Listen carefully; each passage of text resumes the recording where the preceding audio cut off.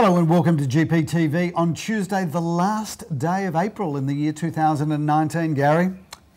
Welcome, Phil. That was a very, uh, very uh, unexciting uh, introduction. Actually. Well, I thought it was last incredible. Day. Last Is there 31 days in no, April? 30 days has September, April, June, and Oh, November. right. That's the way I always do it. But if you think about it, a third of the year, Gary, just Yeah. went like that. Gone, What Phil. happened to it? Gone. It went fast. What, is it getting Yeah. faster or are we just getting older? Yeah, I think What- we're getting older, what- smelly, happening? crusty, you know, None of irrelevant. that, none oh, of that. None of that. No, That's no, good. no, but it's uh, been the been the fastest start to the year.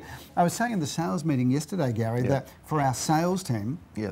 the financial year of 18-19 is essentially closed because we're now listing for July, August, September. We are, uh, indeed we are, Philip. Uh, that's a very, uh, very, very exciting opening there, Phil. We are in Central Command here. What do we call this place? Headquarters? no, or this head- is the project marketing division Yeah. of Gary Peer and Associates, Or the our new, new- residential yeah. collections division. Or we could call it, you know, headquarters or central command Well, or any of those sort of lot exciting of names. technology happening Yeah. out of here, Gary, and this is Hey, the maybe we can have some viewer feedback on a suggested name for this centre, you know, just for the GPTV component of it, Phil. I Maybe don't believe anybody is interested in naming this office, Gary. So moving forward, Hey. this is the prelude. This way we're shooting it now with the screens in the background.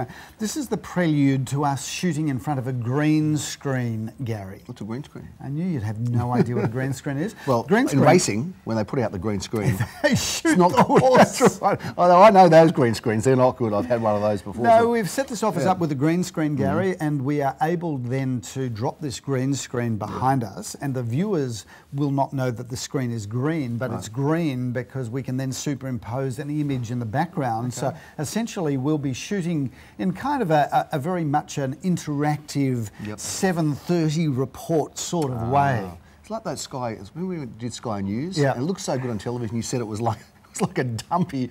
No offence to Sky News, of course, because we'd love to be invited back. Never had got invited back, but um, but that was interesting. So, too. viewers, Um, we, we, we, were, we were both invited to speak on Sky News a couple of times. And, you know, when you watch Sky News, it's kind of this, you know, it's a great city screen and city yeah. skyline. The truth is, they Yeah. get you to come down to this crappy office in South Bank. Dingy, where, where, where, the like, there's a whole lot of people working at the desks next to you. And it's almost like you sit at a desk cubicle of Yeah. almost broken furniture. and, and, and they shoot you, but then they superimpose through the green screen behind you like you could be at the Opera House. Exactly right. Uh, but it's actually a very funny Anyway, experience. thanks for Sky, and that, that's the last gig we'll be getting there. So thanks a lot for that. And they'll probably be doing a scoop on trying to expose us for something terrible. Hey, we talked a few weeks ago, Phil, about beef. What's your beef? And you know, We have to any viewer feedback? Uh, well, I've had someone approach me. Approach Uh, you? Yeah, I've had, well, I've had two approaches, Philip. Uh, one of them was specifically about you. I love springing this on him. These, these little shows. Is that Uh, unscripted this is? it This is. Uh, news so, to me. So, so one And of our you guys. Know, you just look for that one person in a hundred, don't you? don't- You're, you're they like a, come to you're me. like a magnet. Ninety-nine out of hundred people think I'm the most lovely, No. charming, decent no, guy. is but you always find the one. You They always find me. You always find the one. The truth is, Phil, 100 find me. I ain't talking about the one. But let, so this is what's happened. Uh, one of our guys is out for lunch. Yep. And he hears at the next table at a Chinese restaurant in Glenferrie Road. At someone, a Chinese restaurant. someone talking about how where you park during auctions. Are you serious? In a Chinese restaurant in How good Glenferrie that? Road, the saying- topic of conversation is not the yeah, no, no. dumplings or so the. he's sitting there, he's sitting there with his family eating, and he hears, oh, bloody Philip gets parked in the driveway or up the road. so they got upset. So, and I've got to tell you, I got attacked at the St George's Road auction, not for you, one of our guys, because one of our guys stopped and put a board out, Yeah. you know, like an open inspection, but he didn't sort of responsibly drive his car, which I've spoken to him about. Well, of course, this guy, who, who I know, is a doctor, he's a very calm, Yeah. a very serious doctor. He let fly at me with expletives and rude words. He, Really? He actually, Really? I thought he was going to have a heart attack. Phil, I was worried about his health. He actually went crazy. So some people's beef is about car Do you know parking what? and parking. I, I think the general public, They're too uh, angry the the gen- roads, general public, they? sometimes including myself, because Yeah. sometimes I am the general Yeah. public, Gary. I'm, Yeah. not, I'm, I'm not the general public No. right here, right now. But you this are. is a highbrow You're a show. member of the public, But, but when I am a member of the general public, the general public is on a, they're, they're like everyone's on a Infused, short, short fuse, waiting to What explode. What is that about, Phil? I just think people should just chill on the roads in Melbourne. I mean, the government's doing everything they can to make it as slow as possible. They're talking about 30 zones now, so everybody's kind of crawling. It's going to end up being like Amsterdam without the canals. Everyone will be riding bikes soon. Um, Do you know, speaking of- people need to chill out on the roads. Speaking of don't worry. Speaking of driving and road rage, yeah. because this is essentially where you're going on this, Well, is yeah, that parking I- rage. I It's now- parking rage. Everyone knows I'm not the best driver, right? Oh, well, I've looked- and I everybody knows that when when you- drive a Range Rover, He's from the country. Look, you know, you- he's from the country, right? He'd be driving, chewing straw. There'd be the cows flying off the fenders as he'd be driving through the, the It's, fields. it- it's, true. It's true that when you do grow up on a farm, Yeah. the road What do you rules. look at? Road rules. No really, traffic Road lights. rules. What's Don't the give worst? way. What's the worst that happens? You Yeah. drive over a cow. you drive into a cow. Anyway, um, I changed my driving habits. I used Yeah. to get upset with people on the road. You know, they'd cut you off, or or you'd stop to allow them in, and they they'd just move in without without waving or know. acknowledging How you. about that? Is So- that's a beef too, isn't it? and you let people in no and they. longer a beef with it? me. Good. Since that Moran character, remember one of the Moran family? Yeah. Um, he was convicted for road rage, where Yeah. somebody cut him off, Yeah. and he chased them. Yeah. Got out of the car, took out a baseball bat, and beat this person. You don't, you don't cut off a. Moran. That's, that's the key story here Well, in GPTV this week. You don't I've- cut off a I've- Moran. I've got to tell you, Gary, you just don't know Yeah. What the person on the road Yeah. is capable of. What they're on, So at the end of the day, when I do something wrong, I now just this is what I do. Yeah. I wave. Yeah. I go like that. Yeah, yeah. Right, which is beg, begging forgiveness. Yeah, I'm sure a lot of people a- would- would- as would feel opposed to great about a- that. as opposed to you know you, you- ah, you do that, you just go I'm sorry. Yeah. And what about the Better to be safe and sorry. And how about this for a beef? What about the people that park in our car parks behind our office? So we've got an office, and it says, "Do not park here. Car will be towed." You know the whole story. We, you know, we'll, we'll, we'll take a tow, whatever. We'll do everything. Yet people happily they park. They just say, "We're just here for a minute, just to go to the news agent, yeah. whatever." And So on I- the occasion, I get upset by that, Yeah. and then they look at me as though, Yeah, "How, how dare you I?" get upset, Right? I say, I say, how would you? What would you do Yeah, if, if you I came home one night? I mean, your and driveway. I'm just parked in your Your driveway, driveway, and. I just, and I just Well- saunter in and go, "Oh, it's no big deal. I only parked here for an hour." Well, the reality is, Phil, that's what's happening.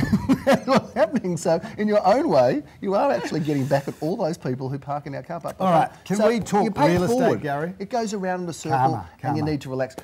Let's talk real. Anyway, the beef, parking beef. If you've got some parking beef or some driving beef you want to share with us, put it, the uh, address is there. Our so ideas Gary, let's talk. Really, I'm, I'm done with this. Seventy-one percent clearance, Philip, against Oh, an industry got there. average of what was it? Fifty-six percent, Put up Gary. the towers. Well, we'll take 71%. That's not too bad, Phil. And of course, we had some competitive auctions. A, a number of auctions sold well in excess of our Having- expectation said and that, range. Having said that, viewers, it's been very quiet the month of April. Is it Uh, even though we're actually up on April 2018. the good news quiet. is our, our, our results are up on 2018. Yep. But it's been very quiet because if you think about April viewers, we have been had we had distraction after distraction. Yeah. We've had school holidays. Yes. We've had Passover. Passover. We've had Easter. Easter. We've had Anzac, Day. Day. Uh, so April was Had a the real estate agent's nightmare. Carlton Hawthorn just got beaten. Carlton. Wow, what a game! What a Wow, game! got What to a see a bit of that as well. I had a few Yep. boys over. We were, you know, pretty disappointed. But any, anyway, Phil, let's just talk about some of the sales on the weekend uh, because there were some really good ones. Uh, Ardoch was a very good Yes. one. Uh, Jeremy Rosen sold that one, and that went uh,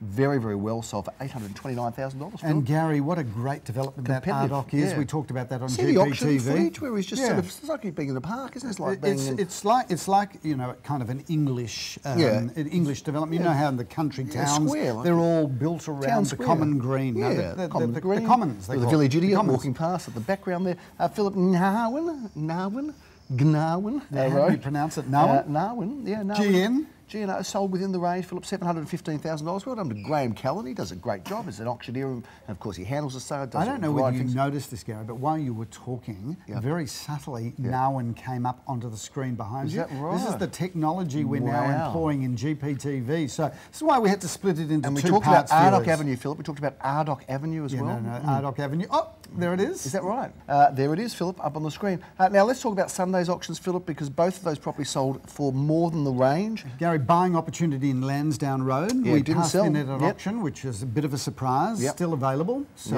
Yep. um, the And asking price there there. now is six hundred and fifty thousand Philip, dollars. six fifty thousand, and uh, Mervyn in uh, Bentleigh East. We did have an offer on that, Philip. Yep, uh, that we, you beautiful know, that wasn't too far off the mark, but that will get sold. uh, Four no bedrooms, question. three bathrooms, Gary. Quality building. Quality building, Phil. Now let's get down to Sunday, Phil, because we did have a very competitive auction in Rose Hill Avenue. Well, of course, Rose Hill is a place I know well, Philip, because it's a racecourse in Sydney. But It is. Uh, this is a different Rosehill Avenue. This is Rosehill Avenue. We had a very happy vendor. Uh, in fact, we might. Can we get a little bit of footage of that vendor? I think Just we saying, can. Let's do that.